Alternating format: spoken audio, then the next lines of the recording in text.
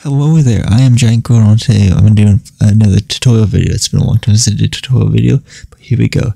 I'm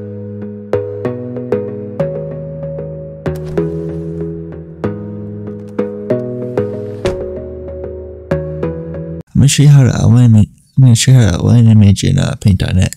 So I got these two photos right here, a Grotle and a background. Let's start the background, just click and drag it into the Paint.net. Paint.net's a few programs, that's pretty cool. So there's the background voice like, okay.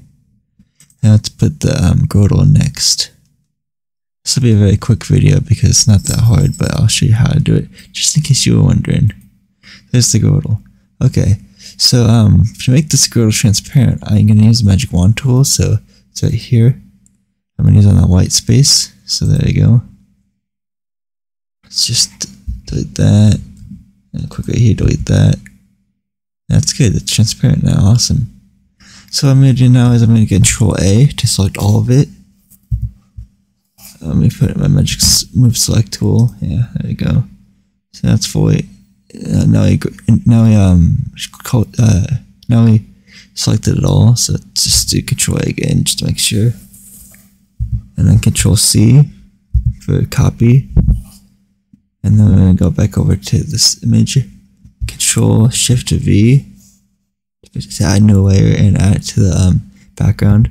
But add new layer. See that's transparent. And uh, Control I'm gonna hold down the control uh, shift I think yeah and then click and drag like to make it bigger so let's make it about that big I guess that's good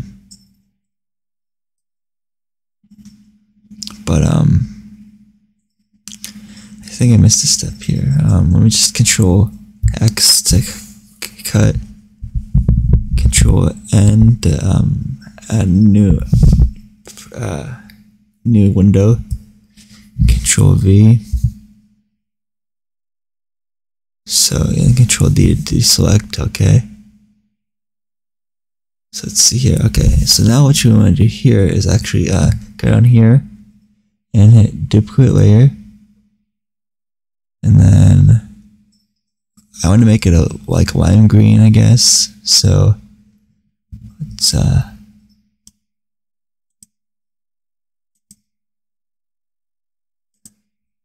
I think uh, right there, I guess, yeah. Select the paint color. Uh, I can shift and control. No, no, I think it's just control. And control again. And make it all, give it, select all this right here.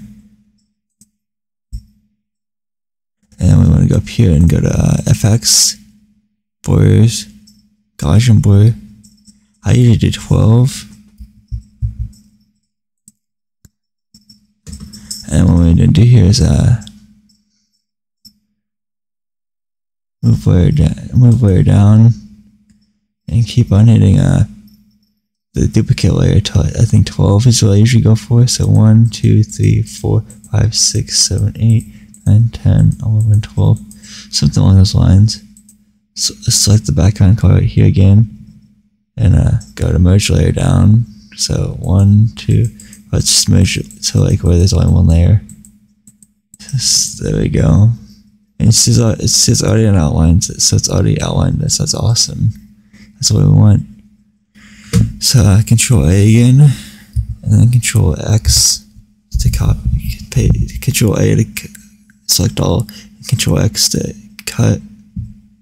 Go back to this image right here. Control Shift V and there we go. There's the outline right there. It's outlined in lime green like I did. Um, let's make it a little bit bigger. There's our Grotle in the forest. so sometimes it comes out really pretty, but sometimes it's like right here, as you can see right here. It can come out as pretty, but that's okay. That's how you outline image in Paint.net. That's how I usually do it for my thumbnails. I need to outline image. So other than that,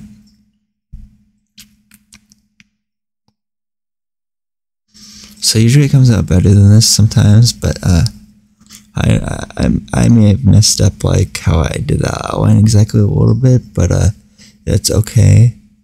So yeah, so, so uh, if you guys could comment, like, and subscribe, that'd be great. Oh, but only if you guys want to. And uh, I'll see you guys in my next tutorial video. And I hope you guys, I hope this was helpful.